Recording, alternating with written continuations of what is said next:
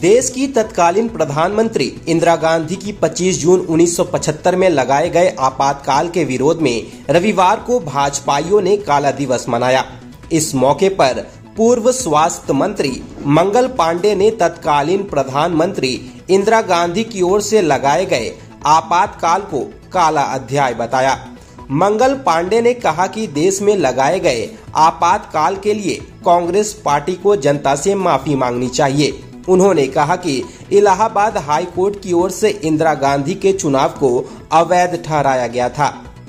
इसके बाद इंदिरा गांधी ने मनमानी करते हुए तानाशाही रवैया अपनाया और अपनी कुर्सी बचाने के लिए देश पर आपातकाल थोपा गया। आपातकाल में चुनाव स्थगित कर नागरिकों के अधिकार का दमन किया गया। मंगल पांडे ने कहा कि लोकनायक जयप्रकाश नारायण ने इसे भारतीय इतिहास की सर्वाधिक काली अवधि कहा था। उन्होंने कहा कि आपातकाल के खिलाफ सत्याग्रह करने वाले हज़ारों लोगों को जेल भेज दिया गया। जो कांग्रेसी आज अभिव्यक्ति की आज़ादी और लोकतंत्र की बात करते हैं, उन्हें आपातकाल को याद कर लेना चाहिए।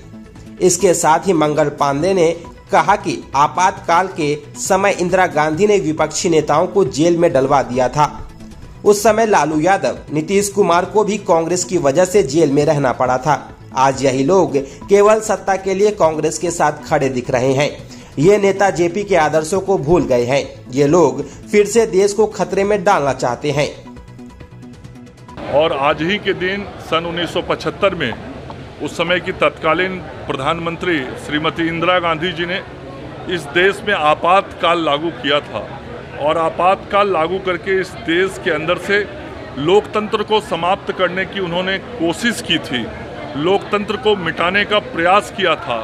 आज के दिन को भारतीय जनता पार्टी काला दिवस के रूप में मनाती है, मानती है, चूँकि लोकतंत्र के अंदर जिस तरीके से आपातकाल को लागू करके इस देश के लोगों की स्वतंत्रता को छीनने का प्रयास इंदिरा गांधी जी ने किया था, वह देश की लोकतंत्र के लिए बहुत ही खतरनाक था और इस देश के स्वतंत्रता की लड़ाई में जो लाखों लोगों ने अपना बलिदान दिया था, वह इस देश से लोकतंत्र को समाप्त करने के लिए नहीं, लोकतंत्र को स्थापित करने के लिए दिया था।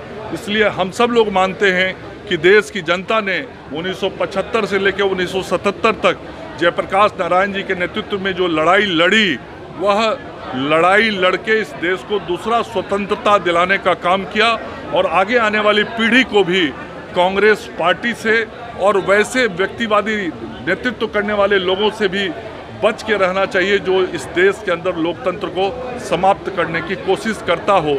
लेकिन आज ज़रूर इस बात का दुर्भाग्य है कि जिस कांग्रेस पार्टी के खिलाफ लालू प्रसाद जी माननीय मुख्यमंत्री जी, या वैसे सारे लोग, जो लोग उस समय के कांग्रेस पार्टी के खिलाफ लड़े थे, आपातकाल के खिलाफ लड़े थे, आज उसी कांग्रेस पार्टी के राजकुमार के साथ बैठ के बैठक करते हैं, सत्ता लाने की राजनीति करते हैं, और कहीं ना कहीं ऐसा कांग्रेस को मज़बूत करने का जो प्रयास है, वह इस देश के अंदर लोकतंत्र को खतरे में डालने की कोशिश होगी।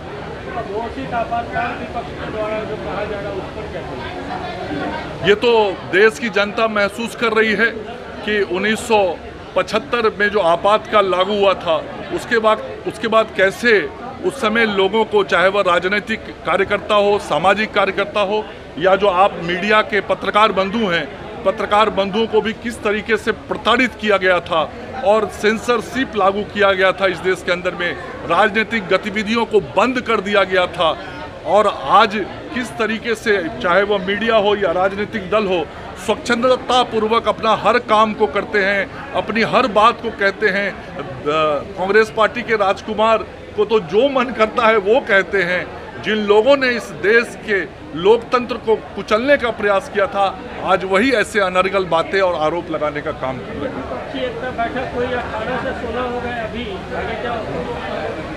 सोलह में भी घट गए पत्रकार वार्ता में तो कुछ और साथ छोड़ के चले गए। अभी आगे देखिए कहाँ कहाँ जाता है। मुझे तो लगता है आगे जो शिमला का स्थान तय हुआ है वो तो विशुद्ध पर्यटन के लिए ही तय हुआ है। मधेपुरा में बीजेपी के कार्यक्रम